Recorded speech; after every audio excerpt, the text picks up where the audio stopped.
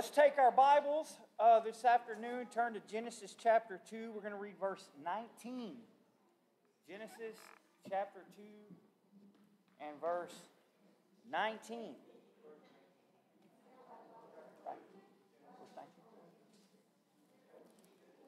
Genesis chapter 2, verse 19. When you find that in your Bible, if you'll stand as we honor the reading of the Word of God, Genesis 2 19.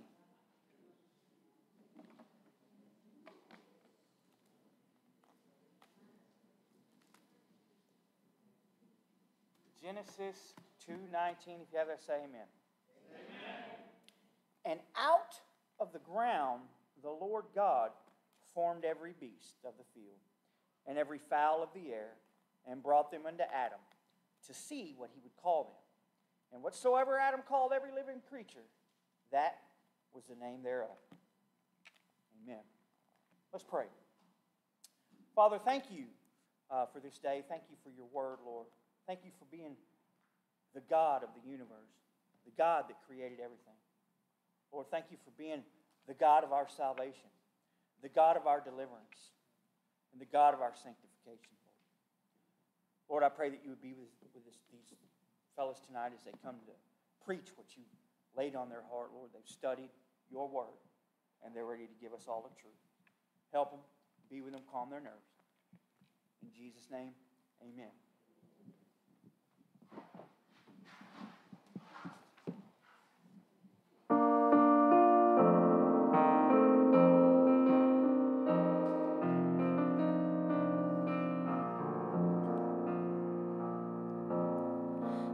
Child back in Sunday school, I learned this simple truth that Jesus died to take my sin away.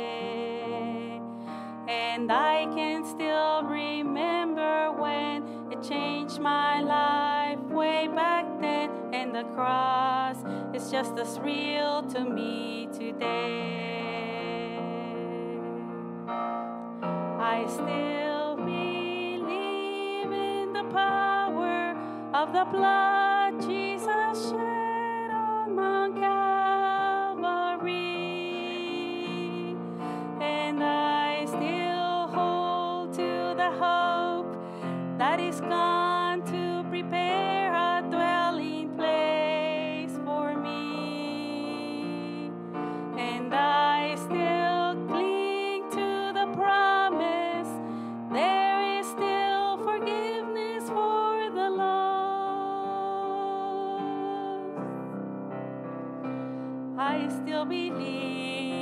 still hold, and I still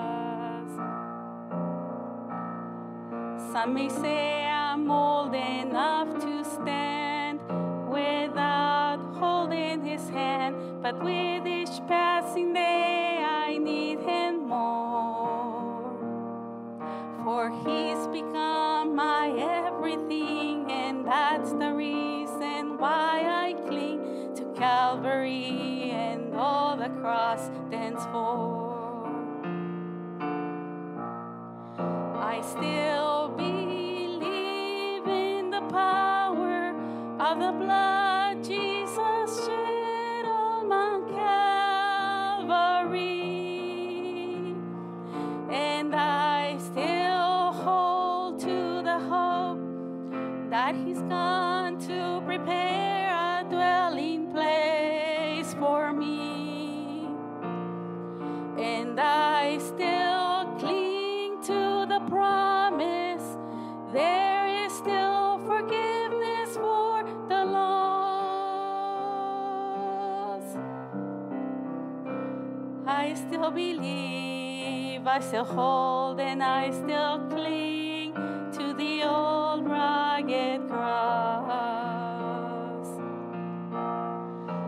I still cling to the power. There is still forgiveness for the lust I still believe, I still hold, and I still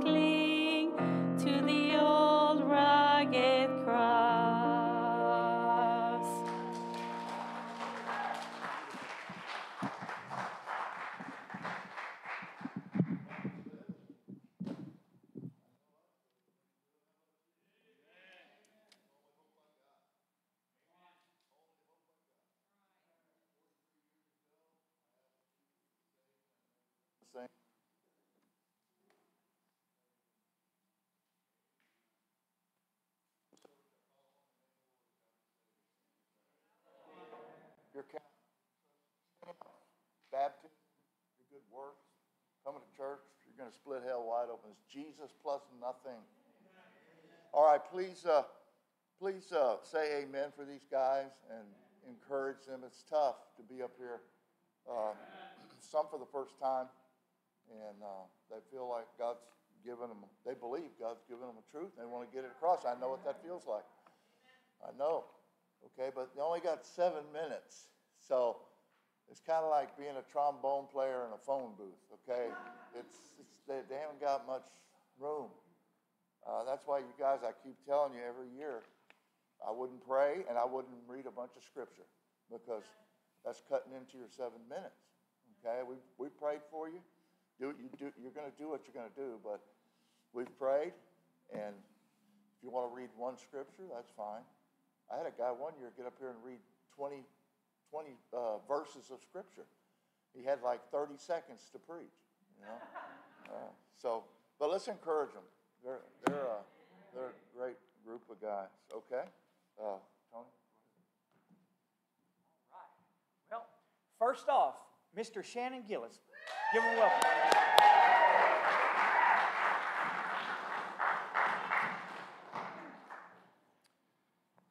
Amen. Well, I was telling preacher, I don't know, I think seven minutes may be about twice as much time as I need. So uh, we're going to try to get get through it here. But the the passage of scripture that Tony read, that is, it's the beginning of God giving Adam the permission to name all the animals, all the beasts of this earth. And it's the very beginning, and, and there's more in uh, Genesis and more in Exodus where we're given definitions. We're given definitions of the things that, the way that God wants us to behave, uh, definitions of what a man is what a woman is, um, good and evil, mothers and fathers, and even soldiers. Definitions that were handed down at the very beginning. And I'm taken back a little bit just by watching what's going on in current events, where what we see is everything that we've ever believed. Now, I was raised in church, and a lot of you were, maybe some of you weren't. Um, but everything that I ever believed seems to be coming under attack, where a man is no longer a man the way that I realized it, or the, the, the way that I learned it.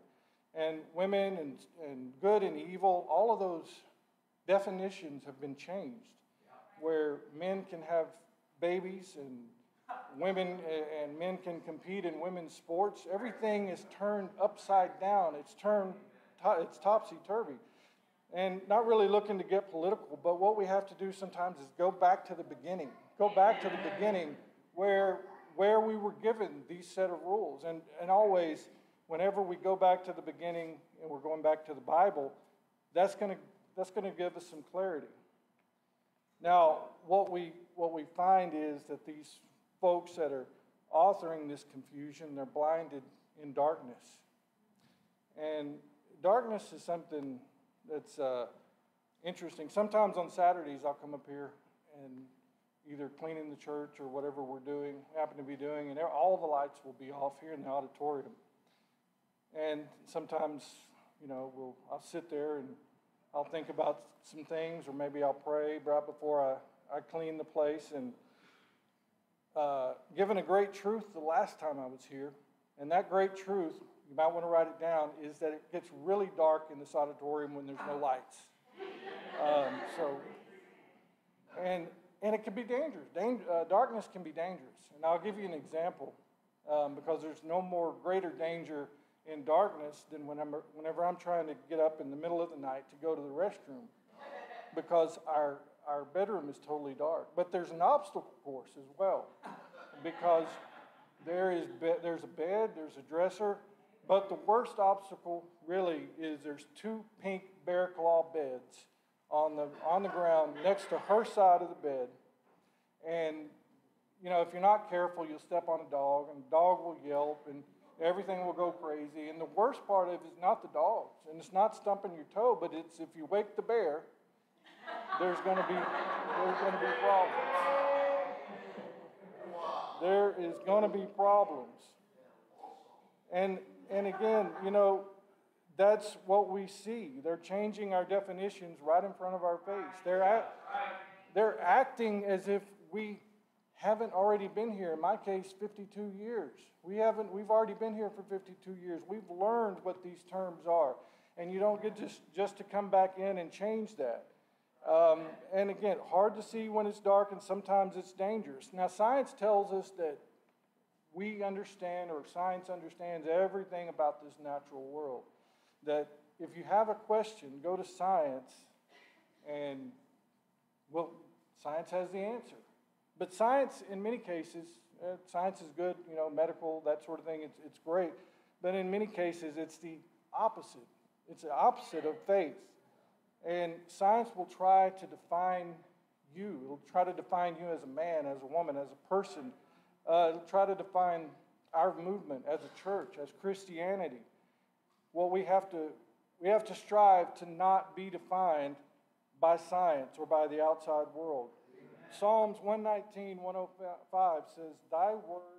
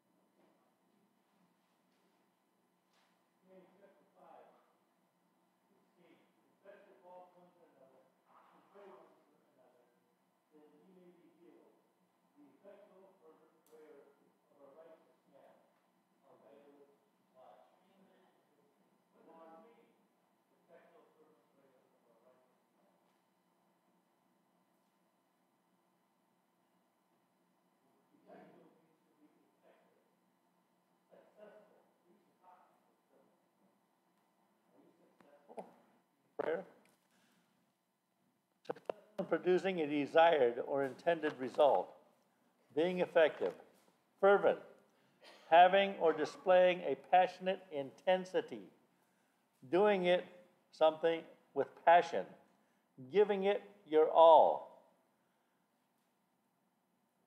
Giving it your all, fueled by the power of the Holy Spirit. Being sincere, being enthusiastic. For those of you who don't speak English, con ganas. okay?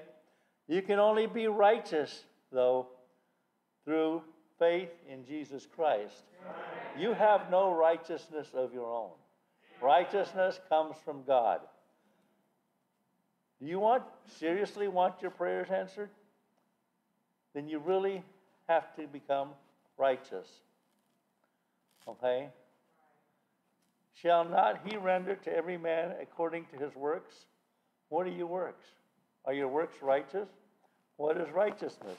It is the state of being morally correct, justifiable, being in rightness, acting in accordance with the divine or moral law, being free from guilt or sin. That puts me out. We sin because of the things we think, we verbalize, things like that. Being righteous means to be right, especially in a moral way. Being obedient. Obedient to what? The Bible, to God's law. Obeying all of His commandments. Some of them were simple. Preacher went over them, a lot of them this morning. Attending church, using your talents for the Lord, not only coming to the church services, but coming to church functions, like basketball. Also, serving in some capacity in the church, driving, singing, teaching, nursery work, cleaning the church, filling in where you see a need, doing things that need to get done that nobody else is doing that you saw it doing. You know, I see that piece of paper, a bottle on the ground. You just leave it there, walk away. Somebody's going to have to pick it up. Why not you? Okay? Filling in wherever there's a need. Okay? And saving money for the church. I can't tell you how many times I got in the men's room and somebody left the water running full blast. Or you go upstairs after Sunday schools and the fans and the lights are all on up there. Now, it used to be I could do that. I was taller. I've lost two inches since I started coming to this church. I, I can't reach the little strings anymore to turn off the fans. I need somebody to help do that. Okay? But it saves the church money. Okay? So that's one thing. Then, in love. Bible says, men, love your wives. You say, but she's ugly, she's fat, she's old, she's rebellious. But you know what? Adam, Adam is the only one who can say, Lord, the woman that thou gavest me. The rest of you chose her like Samson. You said, she pleases me well. Get her for me. You're in trouble now. It's like preacher said, you're the one that asked to get saved. Now you have to live as a Christian. You're the one that asked for that woman. She's yours. Love her. He didn't put any conditions on it. He said, Love your wives. And then, wives, you're supposed to love your husbands too. Okay? In Titus, I already forgot the verse. Two, three, and four. that the age, I'm sorry, that the aged women likewise that they be in behavior as according to holiness, not false accusers, not given to much wine, teaching of good things, that they may teach the young women to be sober, to love their husbands, and to love their children. How are you going to teach somebody to do something you don't know how to do yourself? Okay? You need to love your husband. So the Bible does clearly state women are to love their husband. You say, well, he's ugly, he's a strange, he's a fighter, he's mean. He's bad. Somebody told me I was bad this morning. It wasn't, it wasn't my wife, it was some other woman. okay? He doesn't say just to love her because she's hot. He says, love her. Okay? He said, By this you, they shall know that you are my disciples. He said, That you love one another. If you have love one for another, as it says in John 13 34, he said, If you love your neighbor, Mark 13 24, if you love your enemy, well, my husband certainly is that. Oh, no. John 6 27, God clearly commands women to love their husbands. And the last thing you need to be obedient in is obeying the preacher. Be sure you say, well, he's only a man. He's just a man like me. So what? You know what? He's God's man. Amen. That's the difference. Obey him.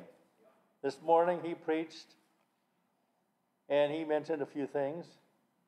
If you need a haircut, guys, get a haircut. You smoke, stop smoking. If you drink, stop drinking. If you're not tithing, start tithing. Be obedient. Remember, your righteousness is not yours, it's God's. He'll give it to you. And if you really want your prayers answered, the effectual, fervent prayer of a righteous man availeth much. Are you going to strive to be righteous? Amen.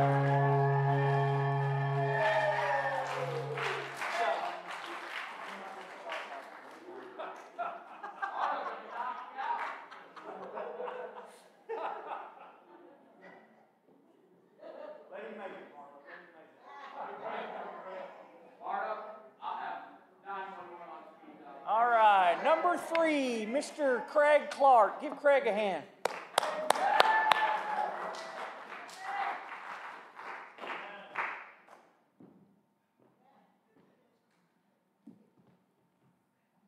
Thank you, preacher. Uh, I want to say a few things. First off, I want to I want to say about the light. Uh, Tony didn't turn his light off the other day in his office. So then I didn't get called on right here. I didn't get called on for the song. So it says, uh, I picked 140, uh, 449, the light of the world is Jesus, okay?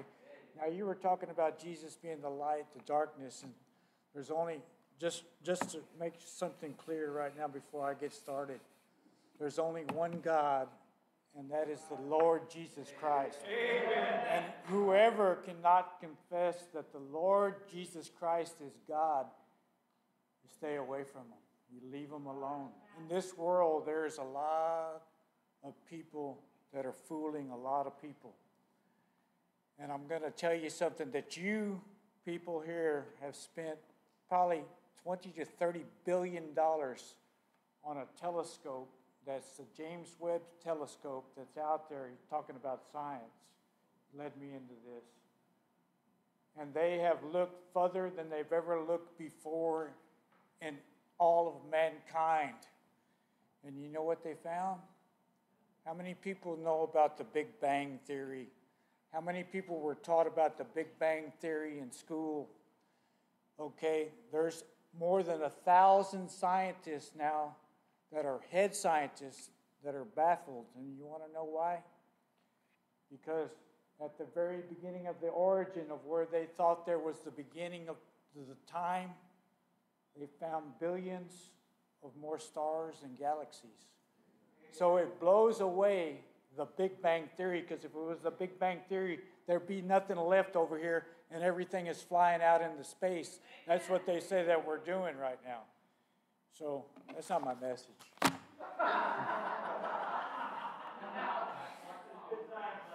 you know what my message is? Uh, I had two names to my message. It's called uh, there's an old movie called Winging a Prayer. Okay? When you go off, like I, I go fishing sometimes. I don't get to go as much as I used to, but I go by myself. I go six, eight miles, 10 miles out in the Gulf. I'm by myself. And when you're out there, you're praying all the time. And you've, if you've ever sank in the Gulf of Mexico before, you pray all the time because you don't know when it's coming again. You're praying. And so my message name, uh, it was going to be Winging a Prayer, but I, I named it this is your prayer a blessing to God?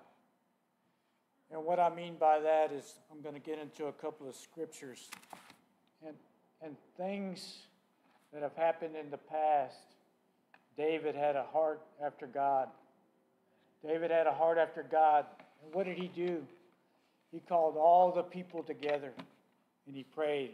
And who did he pray for? He prayed for Solomon. And what did he pray for Solomon to have? A perfect heart. A perfect heart, okay? That's in Chronicles. But more important than that, that was just an example. When you don't pray, like happened to Joshua, when he went out to Ai, they got their rear ends whipped to them.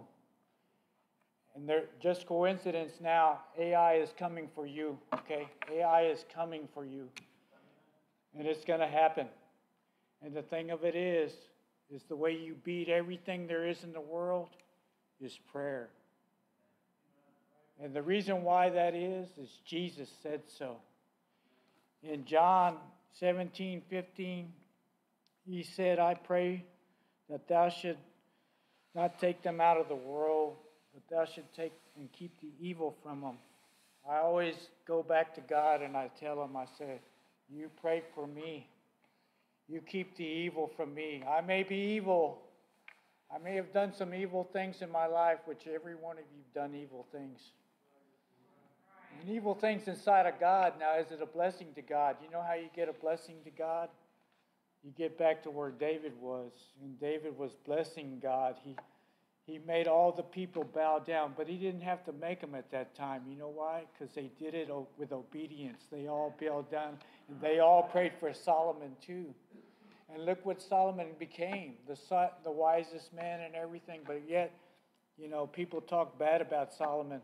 I hear preachers talk bad about them, But those preachers really were never standing in the way where Solomon was standing. And if you can't stand in another man's shoes, I don't think that you should be able to really go over there and say, hey, you know, I know what's really happening to that man, you know, or what that man went through or how he is. So then you got John 17, 20. Neither pray for them that are that these are alone, but for those also which believe on me through their word. That's all the people of all the time that always were coming to this point in time. I'm left here for a reason. And my words that I speak right now may fall on deaf ears, but I'm going to tell you right now God gives me everything that I got all my life and has never, I have never, ever not said that God gave me something. He gave me this just today, opening this book. That's the light. And you read those words that are in this book right here. It's just a book. It's an old book. This is an old book. But you can't go to a textbook of any sort, any time, and find anything like this that's wrote by man. Okay, because they, they're not. They're of the world, they're of the devil. They are of the devil. Our whole system is of the devil. Okay? And I can prove it to you. They're stealing money from you. Okay? And the love of money is the root of all evil. And the devil was a liar and a murderer from the beginning. And he's been growing. And if you can't see that, if you don't know that, it's because you don't read your Bible at all. A lot of people don't read their Bible at all. They confess to be Christians, they don't know one word of the Bible. I feel sorry for them. I have great sorrow for this world. And I have a sorrow that's like a vexed spirit. I told a preacher this about three years ago, right out here on the side. Don't you have a vexed spirit? You're living in a place that's worse than Sodom and Gomorrah. It's worse. And it says it in Ezekiel. It tells you in Ezekiel that you won't even recognize and talk about your sister Sodom and Sodom and Gomorrah. Sorry, I didn't finish.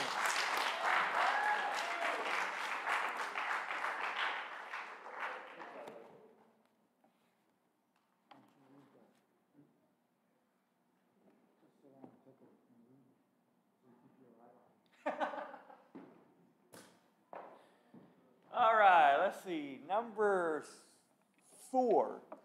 Edgar, you in, buddy?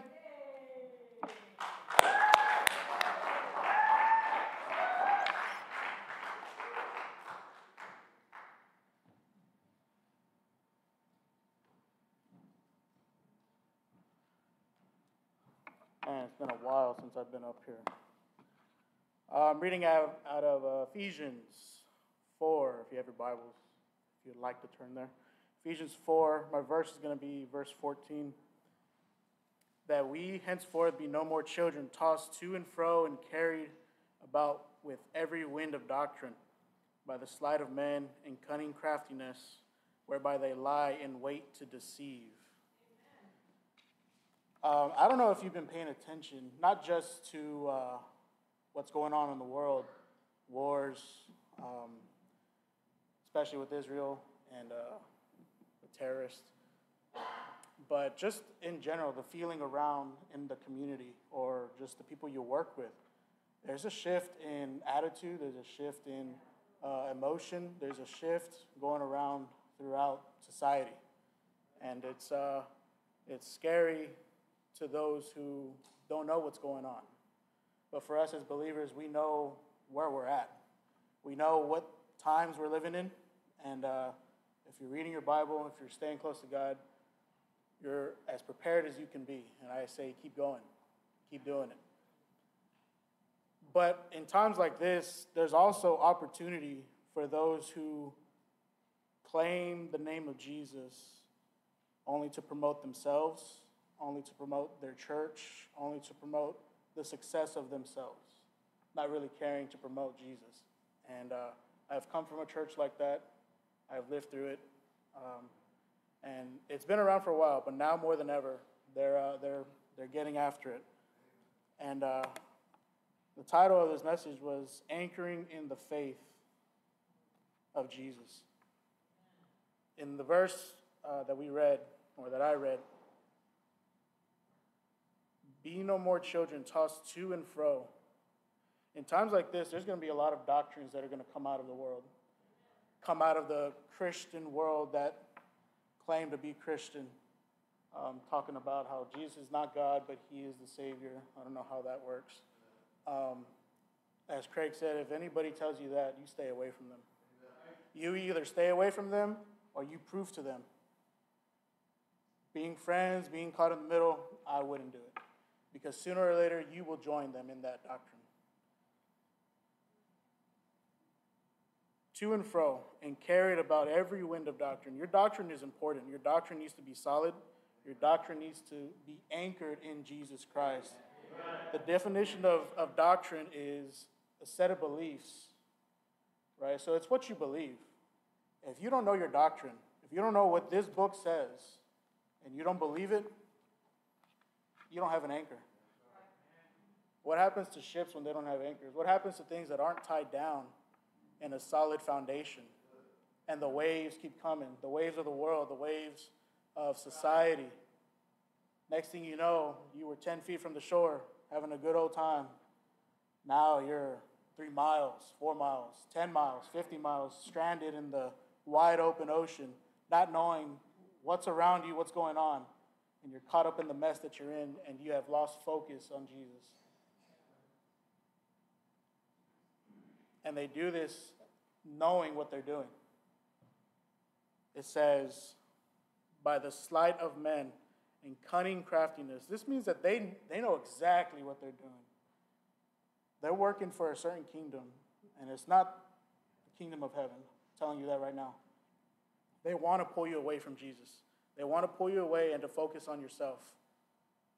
And no matter what's going on in your life, you need to anchor yourself in the faith of Jesus Christ. Amen. There's people in here that are going through cancer, death, illness, lost a job, lost a wife, divorce, single, you know, with kids. It's tough. But no matter what's going on, your anchor needs to be in Jesus Christ. Amen. When I was in high school, I played football, and now the football season's coming, I can finally use it. Um, I had an O line coach, and one play I was just getting ran over by the same dude, bigger dude. he said, Son, if you don't anchor yourself in this floor, the floor is not going to go anywhere. You're going to get run over and crushed every single time. And I think about that, especially during this message, because life has no mercy. The world has no mercy. It will run you over until you anchor yourself in what you believe in. in the belief of Jesus Christ that he died for our sins. And if you don't anchor yourself down, you're going to get run over every single time.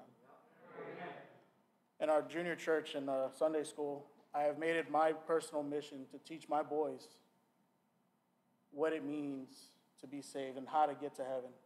I teach it to them every single Sunday. Because I feel like little Larry, by the time he's 12, 15, he will have the strongest anchor in Jesus. But that's because that, that's not because of me. It's because I've had a burden on my heart for these kids. Because I know I know personally growing up in a church that didn't preach Jesus. They preached prosperity.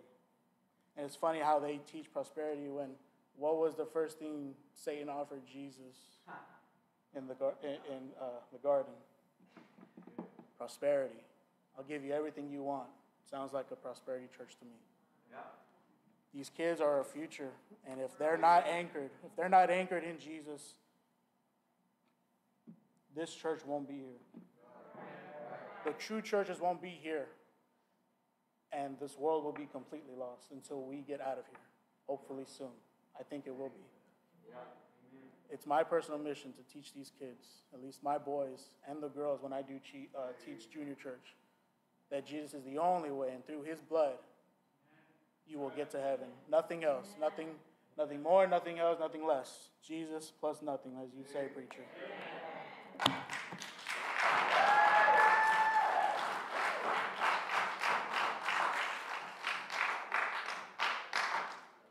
All right, well, last but definitely not least, give Mr.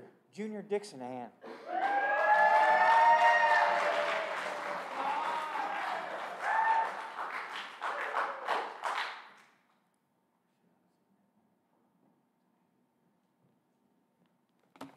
Just want to thank you, preacher, for the opportunity. It's been a while since I've been up here. Uh, in Jeremiah chapter 7, verse 23, it says, But these things commanded I them, saying, Obey my voice, and I will be your God, and ye shall be my people, and, and walk ye in all the ways that I have commanded you, that it may be well unto you. I have a question for you guys. What does it mean, it may be well with you? It does not mean that everything we everything will be easy in this world.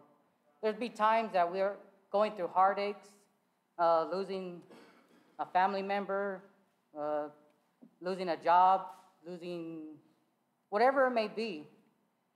But it will be well with you. It does not mean that we won't have struggles. I struggle every day getting up to go to work, and believe me, it's a struggle. Uh, whatever struggles we do, we have, we just got to remember that it will be well with us at the end. And it also means that we won't have heartaches along the way, but it does mean that it will be well with you. In other words, it may be well with you is talking about the future more than the present. God did not say when when it would be well with them, but he did promise it would be well with us at, at some point, but not at the time we want it. A lot of people these days want everything handed to them. A lot of people these days want things that they didn't work for. Uh, but we got to remember that we have to we have to do it ourselves, but with God on our side.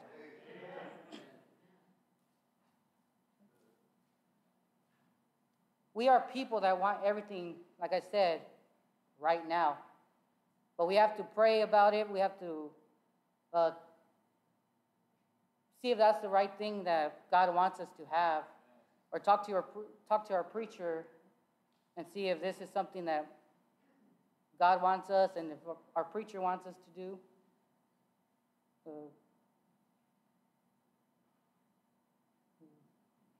like I said, it's His timing, not ours. We must remember that God is an on that God is an on-time God. Like, like I said, we have to pray about it and stuff and talk to God and see if He wants us to build this Sunday school class, if He wants us to build this bus route, if He wants us to uh, help Miss Liz in the nursery or, or whatever it may be. We must follow God's rule for it to be well with us. Number one, the promise to, uh, to be well with you is only for those who are walking and doing God's uh, will. Walking is a motion. You have to keep on moving. You can't just stay in one spot and say, oh, well, I'm going to have someone do this, but yet you're not willing to put the effort into train them and stuff like that, you know? Uh, you cannot say it is well with you if you did not come to church constantly and faithfully. How many of you guys remember Brother Walls? I love that man. He's, he's in heaven now. But he, every morning he comes into the church and he's all, press on. I'm going to all the gates. I remember when he came, I thought he was crazy a little bit, but get to get got to know him and stuff. And all, all I could remember remember is press on. So we have to press on to keep doing God's will.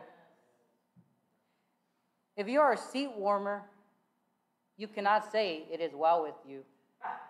Some of us just want to sit there and not do anything. Like preacher preaches all the time, get busy for God.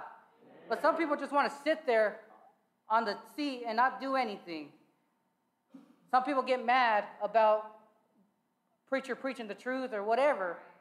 Like today, we have a person that I talked to this morning, and they say, Oh, well, what happened to so and so? They're, well, Pastor Tony preached against homosexuality and stuff, and well, I'm not coming back. I was like, Well, the truth hurts, right? You have to be obedient.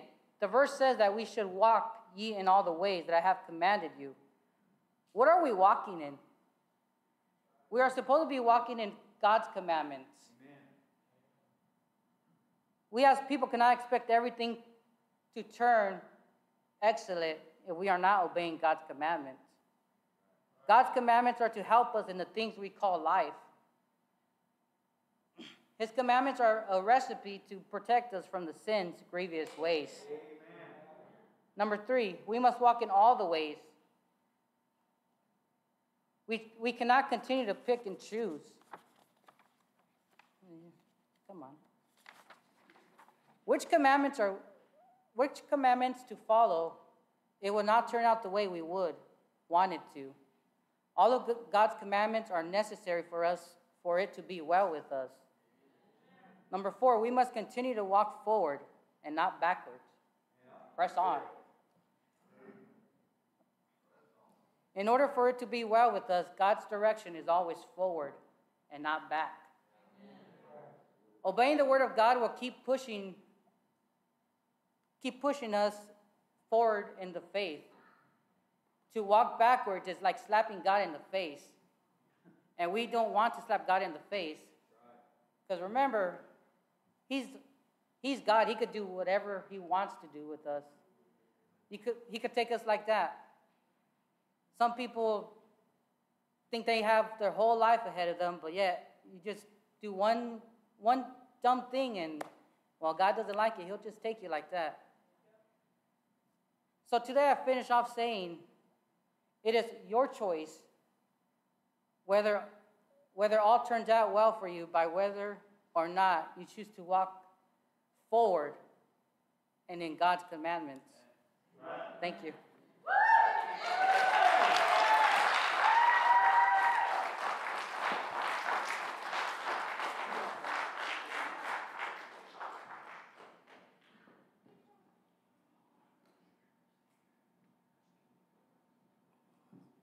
Thanks, guys. Appreciate it. You can go ahead and take care of that. Brother Walls. Huh. Who remembers him? Amen. Uh, you know, I truly believe when we get to heaven, we're going to find out that he was an angel. If anybody was, it was him because uh, the Bible says you entertain angels unaware. Been a few of them, I think. Um, it was a hot summer day. I was going down Joe Lewis Street over there off uh, Foster Road. Everybody know I 10? There's a bunch of houses over there, poor, poorer than poor. And he was walking down the street with that funky little hat he had sometimes. And all the way, I was giving him a ride to the truck stop. All the way, all he was talking about was he was born with club feet. yeah. And I pray for my club feet. So I didn't know, is this guy going to come to church or not, man? He sure enough. And he was a blessing, wasn't he? Man, there's a lot of people that's come through this church that I miss that aren't here anymore. They either, they either croaked or they left or whatever. Uh, that's, what, that's what church is all about. I mean, you, you touch lives. Let me ask you a question Are you touching anybody? Is your fingerprint on anybody's life? Are you counseling anybody? Are you praying for anybody? Are you asking anybody over for dinner at your house? Are you helping anybody? Is your fingerprint on somebody's life? If not, you're just sitting there like you preach and doing nothing. What good are you?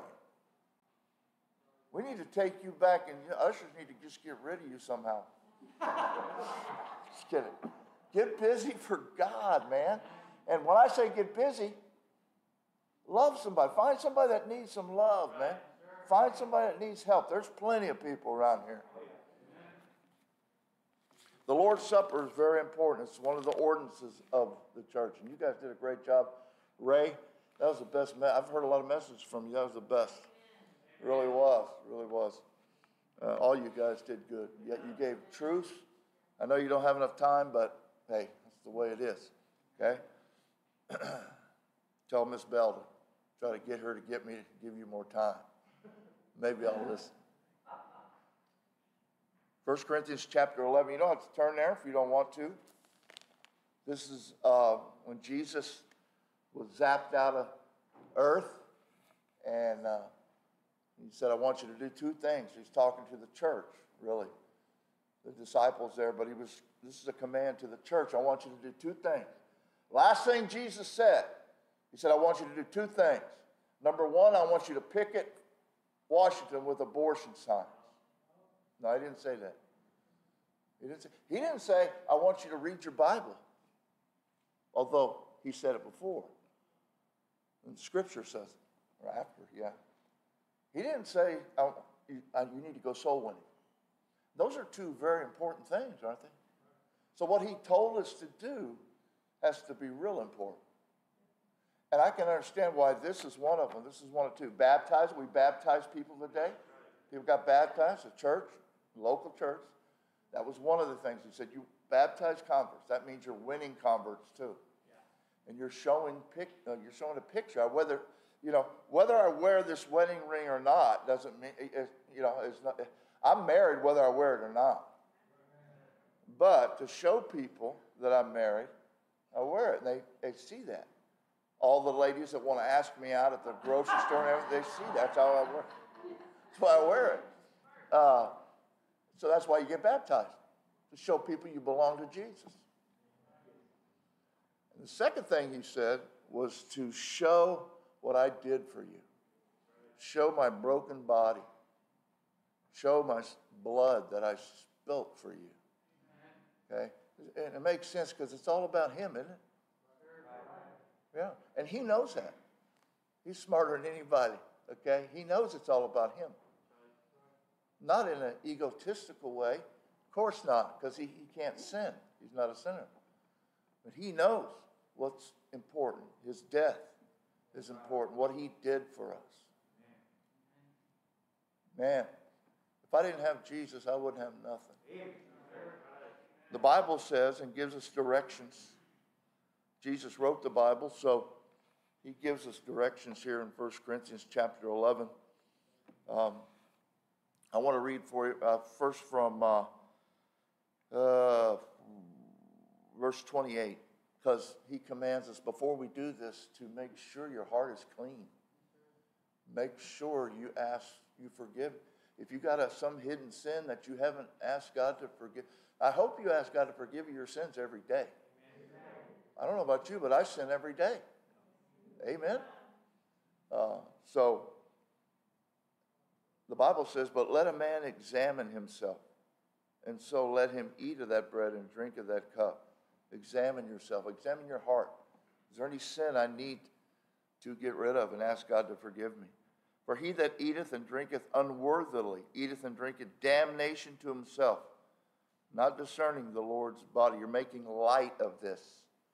You're making light of the Lord's body, okay, by not asking, not cleansing your heart and taking of the, uh, the cup and the bread, okay, and you're just making mockery of it because you don't, this is all about getting your heart clean and remembering what He's done for us. You don't want to go to God with, un, you know, with sins that you haven't asked forgiveness of. So what we're going to, oh, well, let me keep reading. For this cause, verse 30, many are weak and sickly among you, and many sleep. That's, that's a dirt nap, okay? That's death. Many, I, Jesus is saying, I take many I take them to heaven, believers, because they don't take this serious. This is a very serious thing. I didn't write it, God did. So I suggest you take it very seriously. This is a personal thing. This is a personal thing. It's not between you and your wife or anybody else. It's you. You need to focus on your heart and you need to thank God for what He did for you. If you were the only one ever to be born, He would have died for you. He left the 99 went after you. The 99 went after you. For if we would judge ourselves, we should not be judged. So, we have a piano player. We'll take about three minutes. And if you want to come to the altar and pray, you can, or you can pray right at your seat as the music plays.